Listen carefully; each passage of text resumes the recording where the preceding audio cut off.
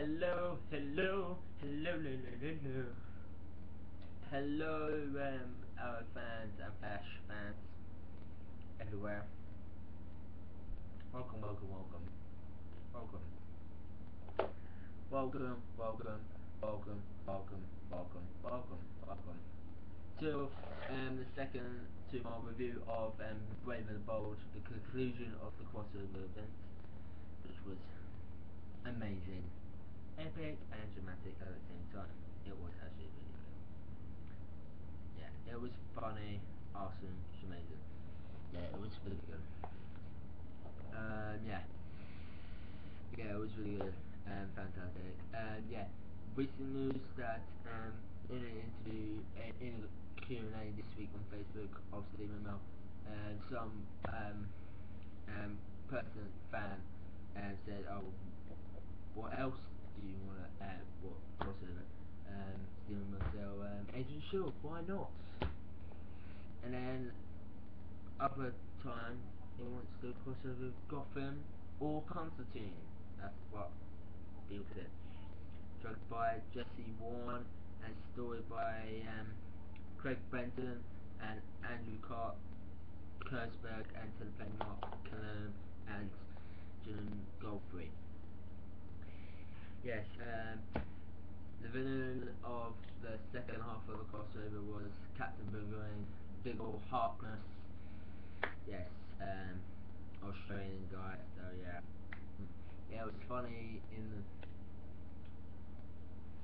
it was funny um, in the arrowcave, but it, we don't call it that. That's what um said. So yeah, yeah. Diggle was um, part of the Suicide Squad, what later revealed. Um, our favourite moments was when um, Cisco was touching stuff and um, um, Oliver said, "Do not touch that." All that it was funny and awesome. And then um, they have a bit when them two were talking, out, um, Barry and Oliver. Um, Barry and Oliver. Um, this girl was the video it, which was funny as well.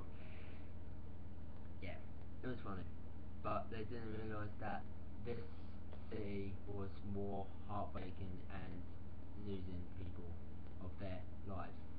So yeah, it was really good. Here's the, the synopsis. Um, Oliver and Wyatt track down the home of Diggle Harkness and and murderer, but um, only find Argus operates looking for the same man. Stardust, Dr. Katniss Snow, Cisco and Ramon into Science City to open uh, Felicity analyzing DNA from the arrow that killed Sara. Diggle um, intends to kill Lyla, Roy and Oliver arrive to stop them, but needs assistance from Barry Allen, who uses the super speed to stop a couple of Boomerangs from killing Oliver. Later, Lyla reveals Diggle was part of the Suicide Squad, and Oliver agrees to allow Barry to assist him in the investigation. Oliver intends to tactics lead Barry to questioning how emotional stable Oliver is. The team track Diggle's location, but it turns out the most that allows Diggle to track trace their hideout. Ray rounds later before the force to um, run away. The orders escape. Uh, Diggle plants five bombs around the sea while Oliver catches Diggle.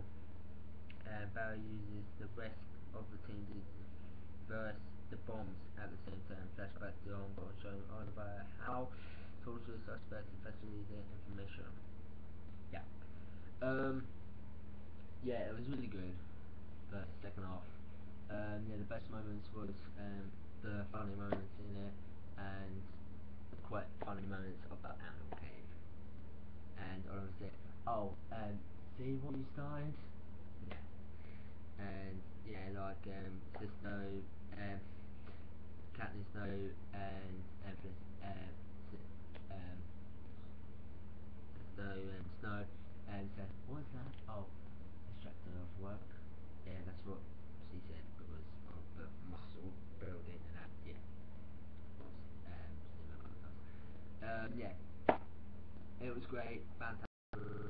Uh, let's hope for three-way crossover next year because Supergirl is um, CBS next year and, and CBS owns CW as well. Whereas um, they revealed the producer of Arrow and Flash said um, Supergirl may be the same universe of Arrow and Flash.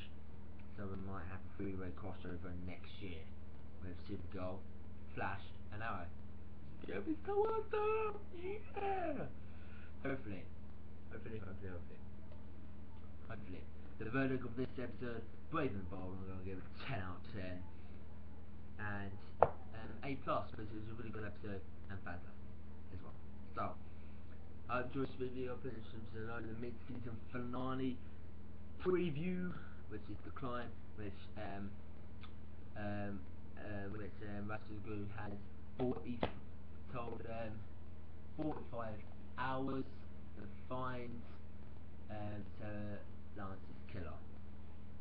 Yeah. Um, so yeah. So um, and have a battle between Ra's al Ghul and Arrow. Yeah. So yeah. Yeah. It was a big. It was an awesome fight. Um, Captain Boomerang versus Arrow and the Flash. Um, which was good. Uh, no, Roy, Arrow, and the Flash. Arsenal and Arrow. And the Flash. Yeah. It was fantastic as well. So yeah. Enjoyed this video guys. I give it 10 out of 10 and A plus. Next up is South Park. Then after that, my EastEnders review. See you later guys. Peace. Bye. Hey.